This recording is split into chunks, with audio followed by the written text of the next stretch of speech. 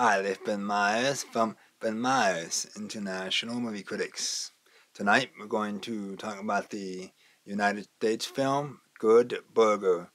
Good Burger is a 1997 Paramount Pictures distribution.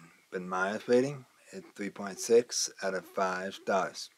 This comedy film is about a hotshot high schooler is driving his mother's car without a driver's license, runs into his teacher's car. His teacher makes a deal with him that he has to pay for all damages. Should you buy the ticket? Maybe. This is an interesting film and an okay watch. It runs like a Jim Varney film. Has been Meyers. Have a great entertainment weekend.